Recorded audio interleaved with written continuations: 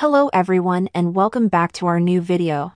In today's video, we will learn how to disable those boring updates on Windows 10. So if you found yourself working and the Windows update comes, and sometimes it can take a long time to update, then that can be really frustrating.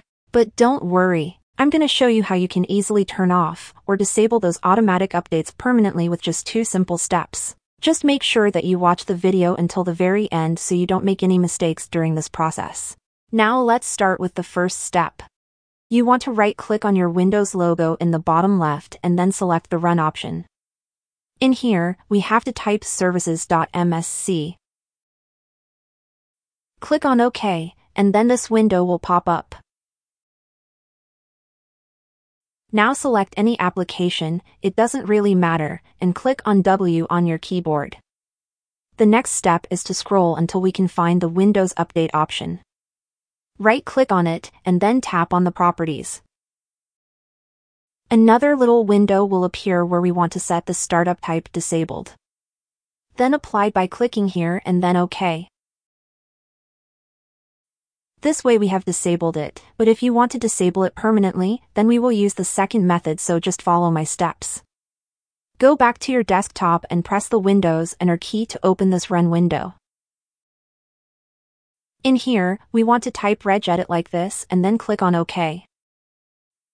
Now Windows will ask for a permission so just click on yes and then our registry editor will show up and that's just what we need to disable the automatic updates. Now follow this very carefully.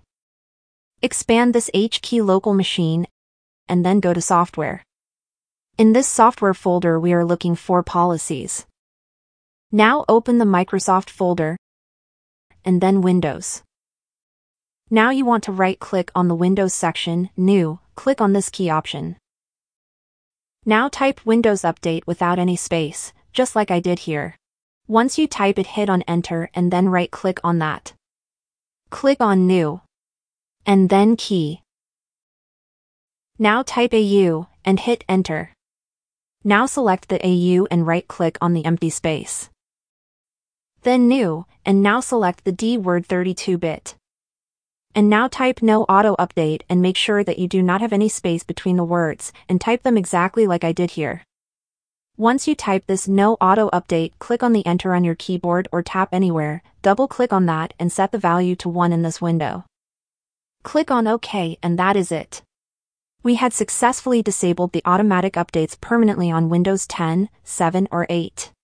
If this video was helpful to you, then consider leaving a like on it and I'll see you in the next one.